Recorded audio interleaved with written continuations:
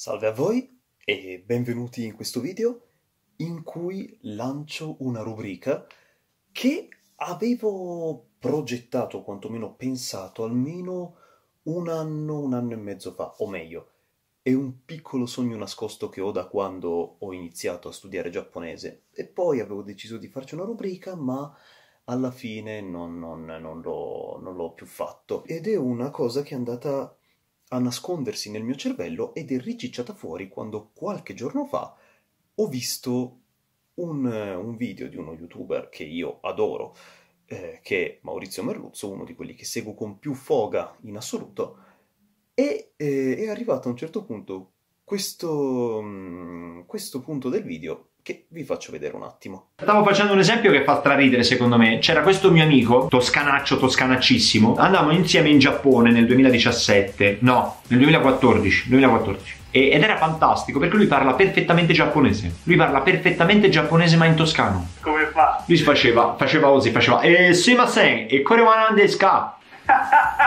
La, mi faceva morire perché poi faceva eh, shottomate urasai. Faceva shottomate urasai.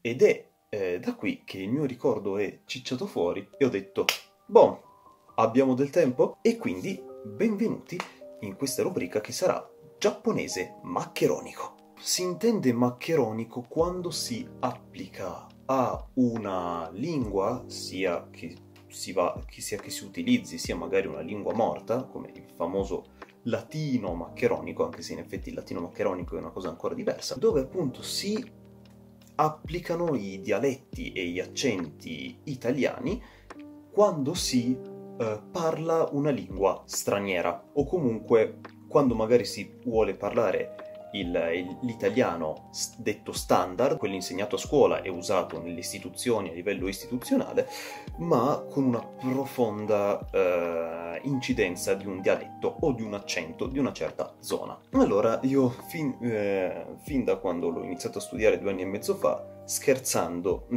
mi sono sempre detto, ah, sarebbe bello se riuscissi ad arrivare un giorno a, a riuscire a creare il giapponese maccheronico però è una cosa complessa perché in ogni regione c'è almeno un dialetto che prende il nome, un dialetto o un accento che prende il nome dalla regione. E poi in ogni praticamente provincia e poi in ogni paese di ogni provincia quel dialetto, quell'accento è diverso. E quindi era, l'ho sempre vista come una cosa un po' complicata, ma alla fine ho deciso di buttarmici lo stesso, andando a incrociare, oltre che i, eh, i dialetti e gli accenti delle varie regioni, ehm, le, la mia scarse, ammetto, però le mie piccole conoscenze di linguistica generale e, della, e, di quella che è la lingua giapponese, oltre che le due o tre cose che posso sapere riguardo alla lingua italiana. E partiamo proprio da una cosa che salta all'occhio subito quando qualcuno si mette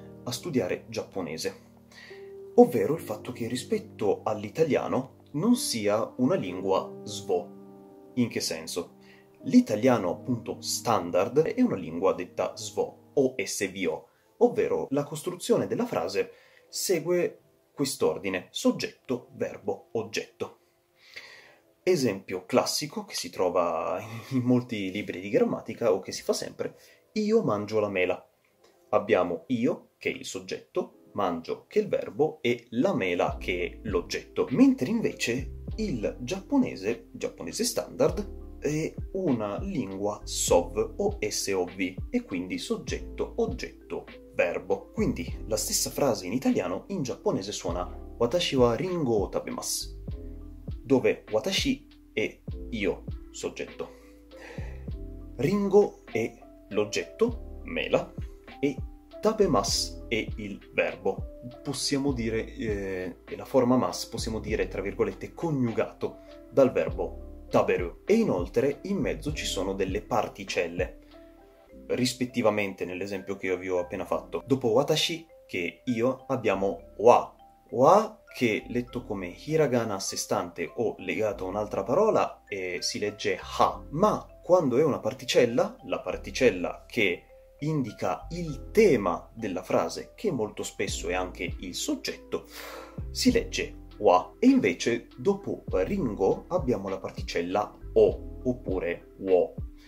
E la particella o indica invece il complemento diretto, comunque il complemento oggetto.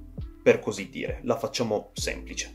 Ora, ci sono dei dialetti in italiano che qualche volta, come il giapponese, hanno la costruzione SOV. E i due sicuramente più famosi, che almeno a me vengono in mente, sono il sardo e il siciliano. Vi faccio sentire un paio di esempi. Permesso? Yeah. E come siamo Montalbano sono? Eh, si accomodi. Sa meritava. A morte capisci. Va bene, mette qua. Vediamo cosa sai fare. Ai, nella schiena preso mi hai, dolore mi fai. E ho deciso di iniziare dal sardo. Come funzionerà questa puntata e anche le prossime? Non solo ci limiteremo a vedere le cose dal punto di vista linguistico, sarebbe anche un po' una noia, andremo a, ehm, ad ascoltare o a vedere proprio delle, delle reference per farci due risate e farci anche delle idee un po' più chiare. Poi andremo a vedere anche delle similitudini della zona in cui questo dialetto che analizziamo è parlato e il Giappone stesso, perché vi posso assicurare che per molte cose o per certe cose tutto il mondo è paese e quindi quello che noi magari pensiamo che è unico nostro, magari possiamo trovarlo molto molto simile, se non quasi uguale, anche da un'altra parte del mondo, anche se un pochino diverso. Tra poco con, eh, con eh, il sardo e la Sardegna e i sardi vedremo anche bene che cosa intendo. So che detto così è un attimo fuffoso, ma capirete riuscirete, riuscirò io più a farmi spiegare facendovelo vedere e voi poi a vederlo. Piccolissima cosa. Eh, so che magari alcuni di voi potrebbero un po' arrabbiarsi per due motivi. Uno, perché potreste prendere questi video come un, come un attacco, come un insulto, come un'offesa, ehm, un po' non direi razzista, ma in maniera simile. Due, magari alcuni di voi potrebbero non sentirvi rappresentati in che senso? Nel senso che se io eh, vado a assorbire, a, a, a masticare un- una forma di dialetto di accento della regione vostra, ma voi venite da tutt'altra parte, magari non vi sentite rappresentati, oppure mi venite a scrivere qua sotto, ah, quello non è il vero, il vero sardo, non è il vero veneto, vai, vai, vai a piartela in saccoccia. Giustamente, cioè, da un lato lo capisco, lo capisco perché io ho i genitori umbri, ma sono nato e cresciuto in Piemonte e so benissimo, e me ne rendo proprio conto che il piemontese parlato a Torino è totalmente un altro universo rispetto a quello di Cuneo e nella provincia di Cuneo paesini lontani 10 minuti di macchina l'uno dall'altro parlano un piemontese completamente diverso. Quindi lo capisco, assolutamente. Ma questi due punti io vi dico uno per quanto riguarda il primo, appunto. Raga, questa è una cosa principalmente goliardica, siamo qui per farci due risate. Non prendendoci in giro a vicenda, io cercherò di essere più professionale possibile, anche se, ripeto, non ho grandi competenze, anzi ho scarse competenze in linguistica generale, non sono estremamente una cima in italiano e non lo sono neanche in giapponese, semplicemente sono due anni e mezzo che, come vi ho mostrato anche nell'altro video, già solo per i kanji e non solo per i kanji mi faccio un mazzo grosso così e quindi anche dato che abbiamo un sacco di tempo in più ho deciso di provare a fare questa cosa, ma appunto è per divertirci, ok? Non- qui non si vuole sfottere nessuno, anche se magari qualche volta si andrà sugli stereotipi, si andrà sulle cose più famose, più conosciute, ma non si vuole offendere nessuno. Primo. Secondo, per quanto riguarda appunto il secondo punto, piuttosto che scrivermi un commento qui sotto arrabbiati, scrivetemi un commento in cui mi dite Ah, per fare il video sul sardo ti sei ispirato, come in effetti farò adesso, non solo a lui, ma principalmente al giardiniere Willy dei Simpson, che è il, il- il parlante di sardo più famoso, abbia- uno dei più famosi che abbiamo in Italia.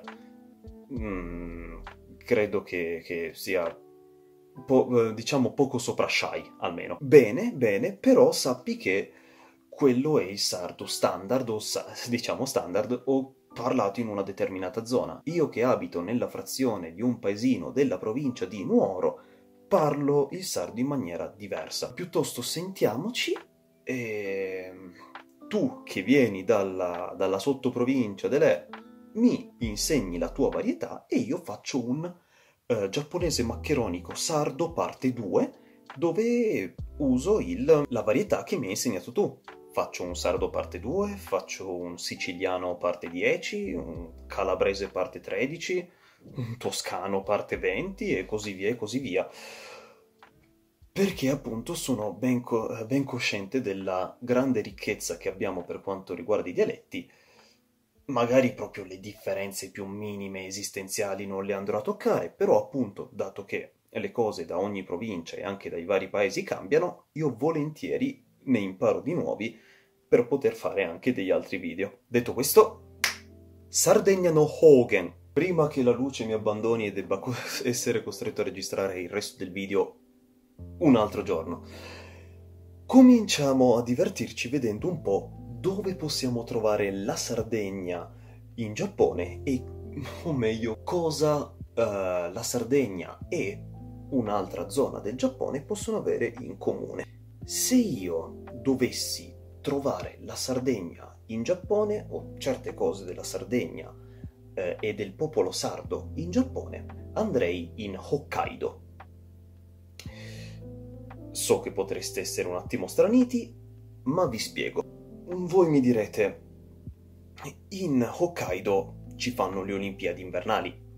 In Hokkaido eh, eh, il clima è subpolare, ed è vero, c'è, c'è la tundra, c'è la taiga, insomma, è un soprattutto d'inverno è un clima abbastanza impervio e le nevi durano da ottobre-novembre fino a marzo-aprile. Quindi sembra un po' strano che io magari abbia preso uno dei luoghi più, più, più iconici che abbiamo per le spiagge, per le rive, eccetera, per il caldo, l'estate, eccetera, e lo abbia portato in un luogo del genere. A parte che anche in Hokkaido in primavera e in estate ci sono dei paesaggi eh, eh, floreali e, e non solo che sono splendidi e credo sia uno dei pochi posti in Giappone dove non soffri la canicola d'estate, non ti vengono gli attacchi di Natsubate, non, ti vie- non, non, ti, non stai sveglio la notte per colpa della nettaia maledetta e quindi bene. Ma il territorio della Sardegna e il territorio del Hokkaido possono avere diverse cose in comune. Se non, lo, se non identifico la Sardegna con isole come il Kyushu o lo Shikoku, uno è perché lo Shikoku e il Kyushu hanno delle città, degli elementi, eccetera, che magari sono più simili ad altre regioni che abbiamo in Italia piuttosto che appunto la Sardegna. E poi comunque il territorio della Sardegna è impervio, cioè non del tutto, però se ci, col- se ci allevano pecore e capre piuttosto che mucche, un motivo c'è. Le capre e le pecore possono andare avanti a sale e arbusti, mentre invece una mucca ha bisogno di erba tenera e ne ha bisogno a quantità industriale. Inoltre, il, il popolo sardo, culturalmente, mh, a livello di usi, costumi e tante altre cose, è una cosa unica. Voi mi direte, tutte, tutte le regioni hanno qualcosa di unico, vero? Ma come tutti i eh, popoli che si sviluppano in un luogo insulare, quindi in un'isola, essendo un po' più chiusi rispetto all'esterno, per quanto la Sardegna possa essere ben collegata col resto dello Stato e del continente, comunque le cose vanno a svilupparsi un po' più per conto loro. E quindi i sardi hanno questo modo di vivere e questa cultura alle loro spalle che presenta uno stacco anche in certi casi netto rispetto al resto dell'Italia. E una cosa praticamente identica c'è anche in Hokkaido, dove vivevano e vivono gli Ainu. Ora, oltre che vi starò facendo vedere le foto, potete notare delle somiglianze proprio fisiche tra gli Ainu e i Sardi si somigliano anche per le caratteristiche che vi ho detto prima, ovvero gli Ainu sono la popolazione originaria del Hokkaido, appunto l'isola più a nord in Giappone. Hanno una storia e un background che io adoro. E esattamente appunto come i sardi sono un popolo di principalmente er- erano e sono, per quelli che sono rimasti, un popolo di principalmente allevatori e hanno sempre avuto un loro retaggio culturale, anche lì abbastanza distaccato per certi versi da quello più strettamente nipponico, anche perché mentre il, i giapponesi che vivevano nel sud e nel centro del Giappone arrivavano principalmente dalla Corea e dalla Cina, oltre che da altre zone, gli Ainu discendevano più dai russi o comunque dalle popolazioni che vivevano dal nord del continente euroasiatico. La differenza fisica si è andata un po' a smorzare nel corso dei secoli, ma all'inizio inizio erano, si vedevano proprio che erano totalmente diversi, tanto che c'è questa leggenda secondo la quale il mito degli Oni, ovvero degli orchi giapponesi, sia nato quando i giapponesi eh, che venivano appunto dalla Cina e dalla Corea abbiano visto per la prima volta gli Ainu, che a differenza loro gli Ainu erano grossi, coperti di peli, vestiti di pellicce e quindi hanno fatto delle, delle, delle particolari associazioni che potrebbero aver portato al mito del Oni, appunto. Eh, ora che abbiamo visto un pochino cosa può esserci di, di, di simile, anche di simile in maniera divertente tra il, tra Giappone e la Sardegna, vediamo un attimo di assorbire in italiano il dialetto sardo. E, e, da lì poi vedremo di applicare il dialetto e l'accento sardo al, alla lingua giapponese. E quindi dai di Shai, dai di giardiniere Willy.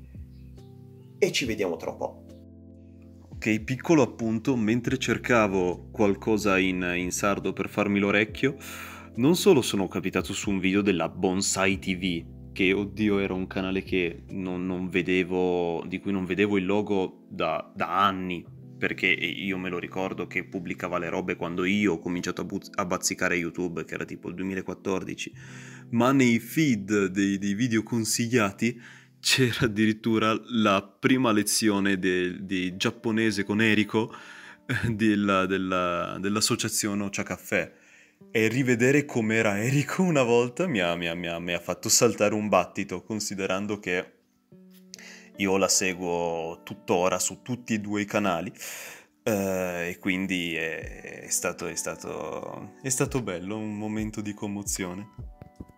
E poi il fatto che mi consigli la lezione di giapponese sua mentre io cerco di fare il giapponese maccheronico, secondo me, è un segno. Il, il sardo ha un accento durro, durro è il, la, la, lingua sarda, ha una musicalità anche piuttosto... Mm, come dire, non direi proprio rigida, però una roba del genere. Eh. Pa pa pa pa pa pa, pa pa pa pa pa pa. Molto spesso seguo uno schema del genere che può anche variare ovviamente. Comunque, il sardo un po', un po così suona, non, non, so se mi riesco a spiegare, però mm, è appunto spesso eh, il verbo alla fine della frase si trova, anche se questo esempio un po' forzato è, magari. e quindi dobbiamo cercare di applicare questo al, al giapponese. E inoltre due caratteristiche che si sentono molto. Si usi molto la vocale U, una U bella, bella tonante anche, molto preponderante, e il suono R, quindi la lettura in italiano quantomeno della, della consonante R, è molto, è molto aspra e si fa sentire parecchio. Qui ci viene in aiuto il fatto che i verbi in forma piana in giapponese finiscono tutti per U, e un discreto numero dei verbi in forma piana finisce proprio per ru. I verbi in forma piana sono proprio quelli che sarei andato a utilizzare perché? Perché si adattano al personaggio che andiamo a costruire. Ripeto, non è un'offesa, è uno, sch- è uno scherzo, una goliardata, ma se andiamo per stereotipi, una persona che viene dall'entroterra o comunque dalle campagne o dalle montagne sarde, esattamente come uno che può venire dalle montagne o dalle campagne dell'Hokkaido del nord, è molto probabile che non, che non, faccia la... che non parli come una scolaretta. Ah, per esempio come nell'esempio di prima. Ah, watashi wa ringo tabemasu. Sarà più una cosa tipo Ore wa ringo taberu. una roba di questo tipo qua, sia uomini che donne immagino, dobbiamo andare non solo a mettere i verbi in forma piana ma anche a cambiare il pronome personale, non è più watashi, molto probabilmente sarà o boku oppure molto più probabilmente e ci viene ancora più in aiuto ore dato che ha la R che ci, che ci serve. Se prendiamo il, il sardo e lo, apprend- e lo adottiamo a questa frase diventa Oreo a ringo taberu. Anzi, aio, meglio ancora, Ohayo, oreo a ringo taberu. Mua. è una cosa, è una cosa fantastica. Mi piace un botto. E questo appunto per l'esempio che vi ho fatto prima. Proviamo a dare anche un nome a questa persona. Ehm, ispirandomi a un illustratore che conosco di persona che è sardo, ovvero Alessandro Sayu, che è grandissimo, vi lascio il link del suo profilo in descrizione, andate a vedere su- i suoi disegni che sono una figata. E ciao Ale, tra l'altro ti saluto. Lo decido di omaggiarlo prendendo il suo cognome, che può essere anche un cognome in giapponese, ovvero Sayu abbiamo questo Sayu-san che viene da questo Hokkaido barra Sardegna e quali vocaboli sono importanti se vogliamo fare un nippo, uh, un nippo sardonico? Uh, heia, che in, in, sardo è un intercalare, mentre in uh, giapponese vuol dire stanza, Hitsuji, che è pecora, e Yaki, che è capra, letteralmente come potete vedere dai caratteri, è la pecora di montagna. Prendiamo una zona, prendiamo il lago di Onuma. Il, ce ne sono due, prendiamo il lago di Onuma più a nord che ci sia, discretamente vicino anche a Caposoia, per intenderci, per dire quanto sta a nord. E quindi, Aio, o meglio, Ohayo, Ore wa Sayu Santa, Onumako no Nouka ni sunderu, Ore wa Hitsuji to Yagi o Sodateru. Peccato che non posso urlare, porca vacca, siamo in troppi in questa casa. Ore wa boku no hitsuji to yagi ga honto ni skita. Tokidoki onaji no heiya ni neru. Proviamo adesso con un... con un... con un tipico proverbio sardo. Ispizzai su gatto in culo, ovvero pettinare il gatto nel sedere. In giapponese standard sarebbe... Eh... È difficile dirlo senza ridere una cosa. In giapponese standard sarebbe Neko no oshiri o tokasu. In sardo sarebbe Neko no oshiri o tokasu.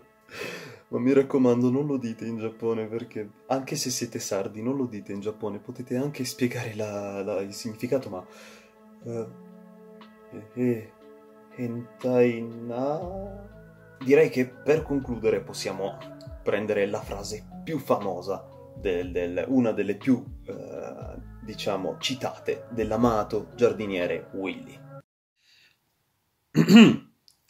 Tamotannayo! chiodai Toshima e Nomagai wa Hammok da! Igrisu jin toscotto jin no yona!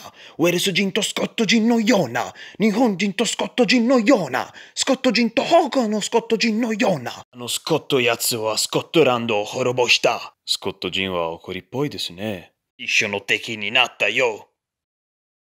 Molto bene ragazzi, questa discesa nella follia è finalmente conclusa.